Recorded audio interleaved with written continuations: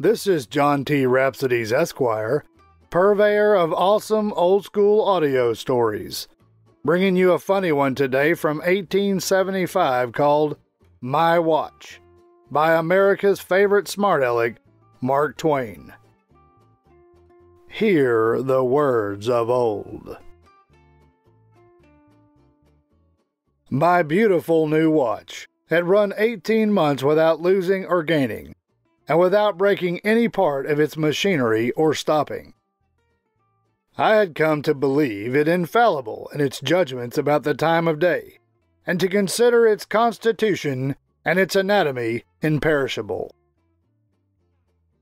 But at last, one night, I let it run down. I grieved about it as if it were a recognized messenger and forerunner of calamity.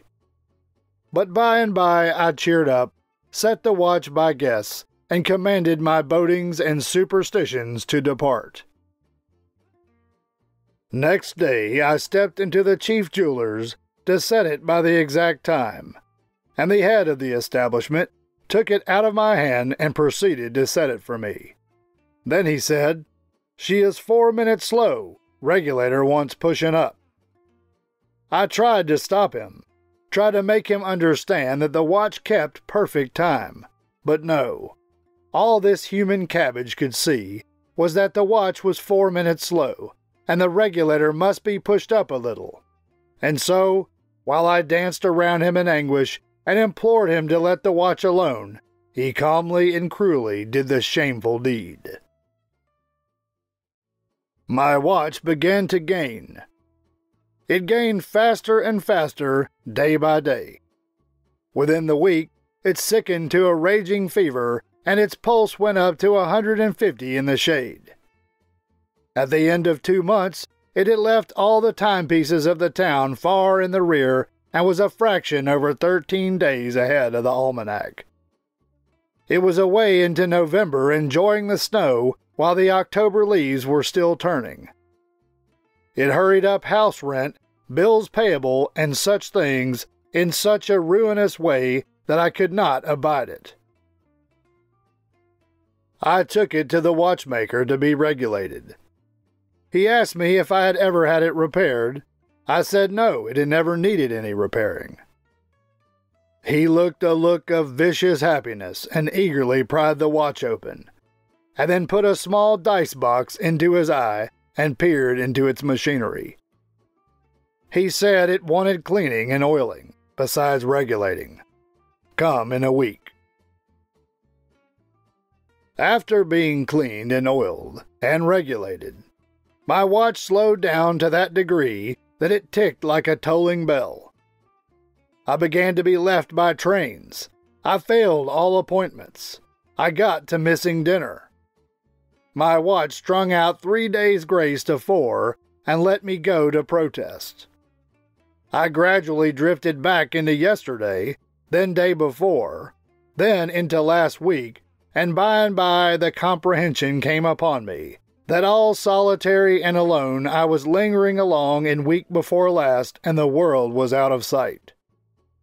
I seemed to detect in myself a sort of sneaking fellow feeling for the mummy in the museum, and a desire to swap news with him. I went to a watchmaker again. He took the watch all the pieces while I waited, and then said the barrel was swelled. He said he could reduce it in three days. After this, the watch averaged well, but nothing more. For half a day it would go like the very mischief, and keep up such a barking and wheezing, and whooping and sneezing and snorting, that I could not hear myself think for the disturbance. As long as it held out, there was not a watch in the land that stood any chance against it. But the rest of the day, it would keep on slowing down and fooling along until all the clocks it had left behind caught up again. So at last, at the end of 24 hours, it would trot up to the judge's stand all right and just in time. It would show a fair and square average, and no man could say it had done more or less than its duty. But a correct average is only a mild virtue in a watch. and I took this instrument to yet another watchmaker. He said the king bolt was broken. I said I was glad it was nothing more serious. To tell the plain truth, I had no idea what the king bolt was, but I did not choose to appear ignorant to a stranger. He repaired the king bolt, but what the watch gained in one way, it lost in another.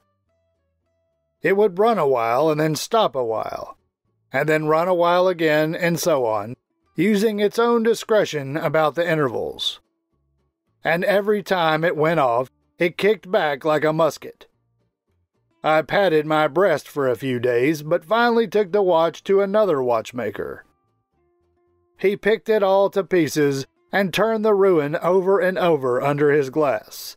And then he said there appeared to be something the matter with the hair trigger. He fixed it and gave it a fresh start. It did well now, except that always at 10 minutes to 10, the hands would shut together like a pair of scissors, and from that time forth they would travel together. The oldest man in the world could not make head or tail of the time of day by such a watch, and so I went again to have the thing repaired. This person said that the crystal had got bent and that the mainspring was not straight. He also remarked that part of the works needed half soling. He made these things all right, and then my timepiece performed unexceptionally, save that now and then, after working along quietly for nearly eight hours, everything inside would let go all of a sudden and begin to buzz like a bee, and the hands would straightway begin to spin around and round so fast that their individuality was lost completely, and they simply seemed a delicate spider's web over the face of the watch. She would reel off the next 24 hours in six or seven minutes and then stop with a bang. I went with a heavy heart to one more watchmaker and looked on while he took her to pieces. Then I prepared to cross question him rigidly, for this thing was getting serious. The watch had cost $200 originally, and I seem to have paid out two or three thousand for repairs. While I waited and looked on, I presently recognized in this watchmaker an old acquaintance, a steamboat engineer of other days and not a good engineer either. He examined all the parts carefully, just as the other watchmakers had done, and then delivered his verdict with the same confidence of manner. He said, She makes too much steam. You want to hang the monkey wrench on the safety valve. I brained him on the spot and had him buried at my own expense. My Uncle William, now deceased, alas, used to say that a good horse was a good horse until it had run away once, and that a good watch was a good watch until the repairers got a chance at it. And he used to wonder what became of all the unsuccessful tinkers and gunsmiths and shoemakers and engineers and blacksmiths. But nobody could ever tell him. And that concludes Mark Twain's 1875 story called My Watch. This is John T. Rhapsodes Esquire, purveyor of awesome old school audio stories. Thank you for listening. You can find more stories like this in the channel's playlists. Find them by staying tuned for the last 20 seconds of this video and clicking on the end screen icons. You can also go to the channel homepage and click on the playlist tab.